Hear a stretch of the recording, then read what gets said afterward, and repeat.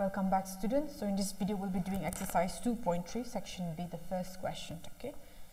So this is the question which is given to us. We have to divide the polynomial p of x by the polynomial g of x and find clear. So you understand what p of x is and g of x. px is a quadratic equation because uh, it's a cubic polynomial because the degree of this given polynomial is 3 okay.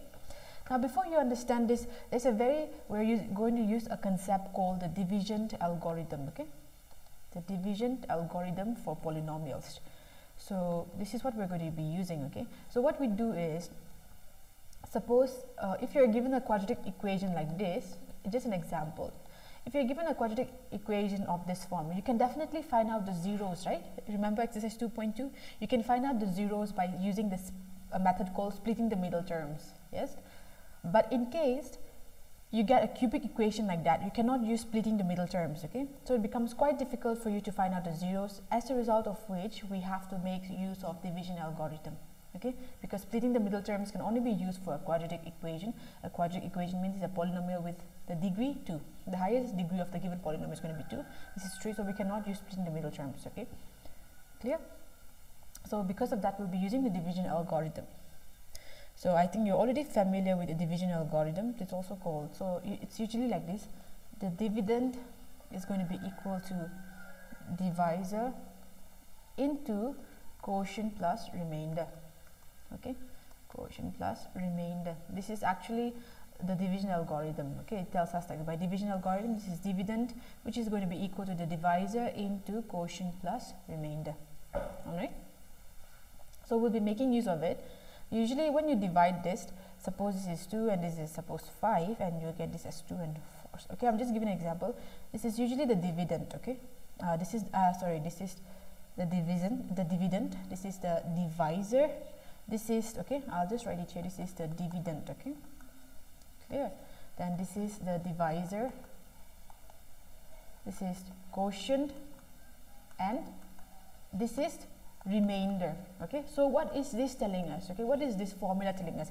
Dividend equal to divisor into quotient plus remainder. What is it telling us? What is the division here? 5 what is the divisor here? 2 what is the div uh, divisor here? 2 what is the quotient? 2 and plus. So you tell me is this not the same form? 2 plus 2 2 into 2 is 4 4 plus 1 is 5 okay? So this division algorithm tells us that dividend is equal to divisor into quotient plus remainder. And this is one of the examples why okay clear? All right? Okay not necessary that always okay? Either ways let's not really get into this okay? I'll be making um, an introductory video based on this again all right? But i hope you get the idea of where we get the division algorithm okay? Now we'll go with this question. So the question is we're asked to find out um, the quotient and the remainder we have to divide. So since it's already given divide we'll have to use a division algorithm. So by division we're asked to divide the given polynomial with the the polynomial of gx. So what is gx here? x square minus 2, you get this as x cube minus 3x square plus 5x minus 3. This is something you have already done in class 9, okay? So what should you multiply x square with to get x cube? Remember it's plus x cube. So what should you multiply x square in order to get x cube? You must multiply x square with x, right? So when you multiply x with x squared minus 2, you can always write this x into x squared would give x cube minus 2x. Clear? So x squared into x would give you x cube. No, minus 2 into x would give you minus 2x. So put uh, find out where minus where uh, you get an x. Okay, the variable only x alone. So this becomes minus. This is plus, but this become minus. This becomes plus. So this becomes 0. So now bring this down. Nothing happens to the sign. This will remain 3 minus 3x squared. Now the sign since this is minus, it actually changes to plus. So 5x plus 2x becomes plus 7x. Again, you bring down 3, nothing will happen to this as well. Okay? Alright, now what should you multiply x squared with to get minus 3x squared? Remember, it's minus 3x squared, okay?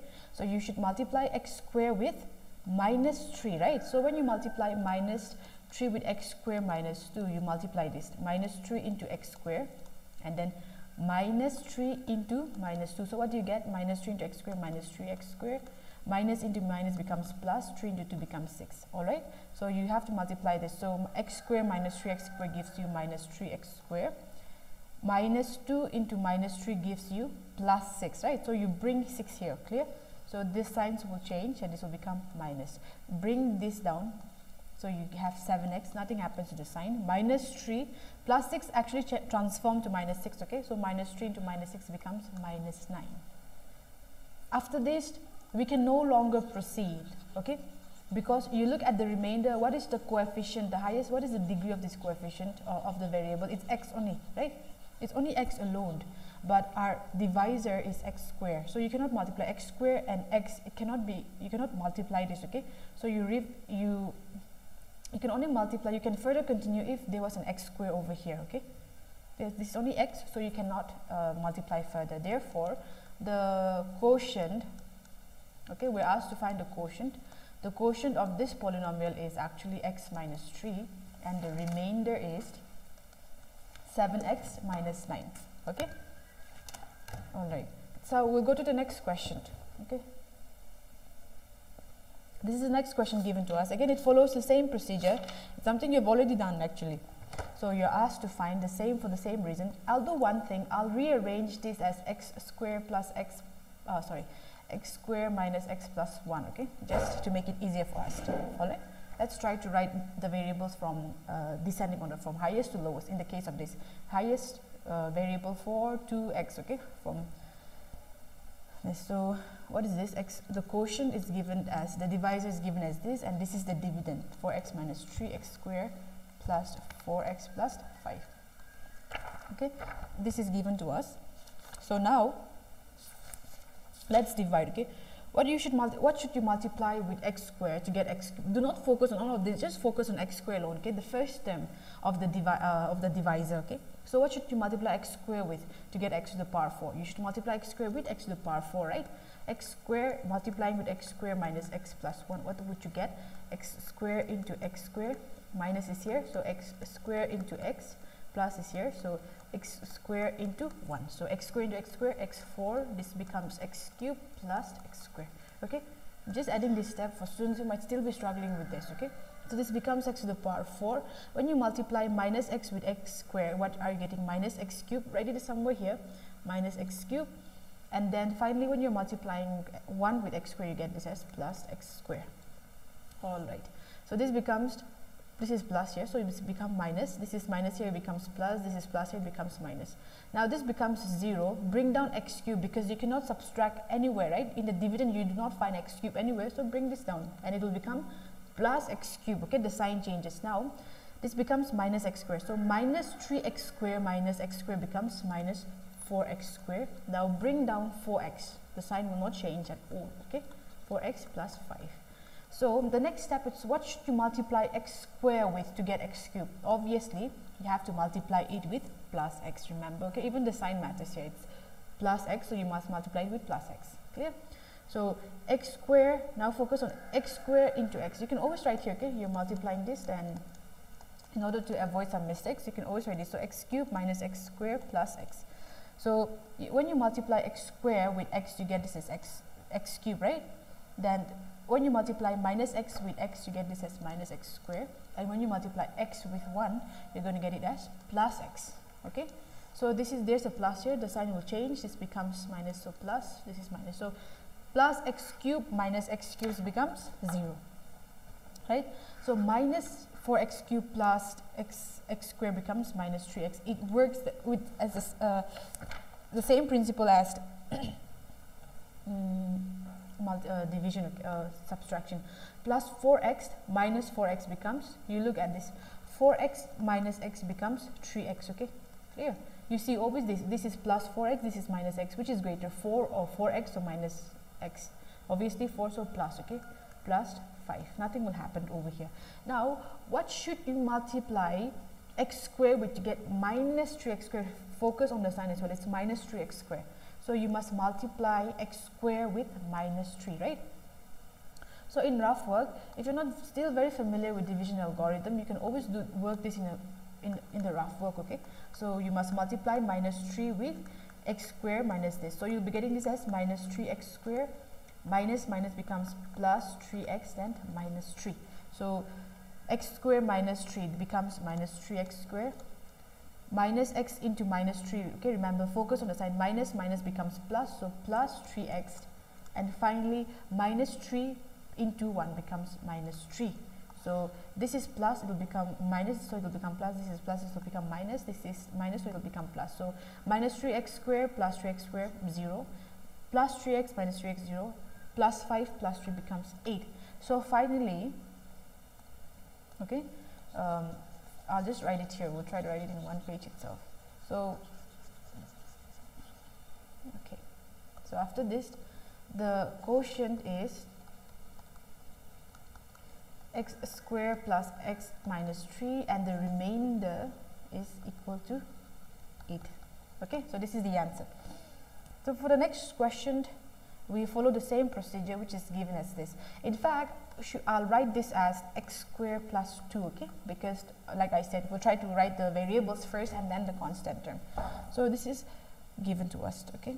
So this is minus x square plus 2 x to the power 4 minus 5x plus 6 so what should you multiply minus x square with to get plus x4 okay remember it's a plus sign so you must get plus. So you must actually multiply it with x minus x square right? You you write here in the rough work minus x square multiplying with minus x square plus 2 minus x square into minus x square plus into minus becomes minus. So x square into 2 so what would you get? Minus minus plus. So x to the power 4 minus 2x square okay? So you're multiplying this you get x4 and you cannot see plus 2 into minus. This becomes minus 2x squared.